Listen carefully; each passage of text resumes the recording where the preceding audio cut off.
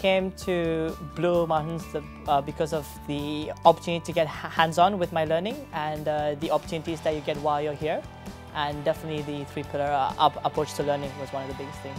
The best part for me about studying at uh, Blue Mountains is all the people that you meet along the way and the different experiences that you go through while you're on campus. Living in Leura is definitely a really big change to living back home in India. Um, definitely a lot less people and you're basically one big family up there. So I took charge of coffee time at the start of this term. Uh, it's my little baby. I basically saw it as a way to meet a lot more people, get more involved with campus. It's a good chance as well to train students because we also train master students who are just starting off in learning about being a barista. So that gives them a lot more exposure than what they would normally get anywhere else in any other school that they would go to. For personal development as well, I get to know what it feels like to market, to lead a team, and to basically project manage and take it forward. So the mentoring program basically tie, ties you up to someone who has graduated from Blue Mountains and has been successful and has got a wealth of uh, knowledge to pass on. You're basically matched up based on your career goals and where you see yourself in the future. I was matched up with Mr. Scott Boyers.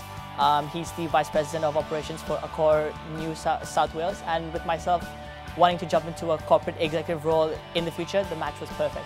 Personally, I feel that the alumni mentoring program makes you more employable because I've personally seen that employers tend to value employees more who have that drive and know the direction in which they want to go and as a result they can help take the company there with them as well. I've just got a new job, full-time front office agent at uh, the Four Seasons in Sydney, so it's a five-star luxury property.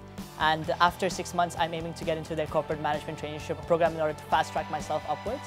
I secured the role through the GPP Expo that we had up in Leura, where we got the opportunity to network with all of the industry partners that the school has. So I met with the front office manager up there and I just took things from there.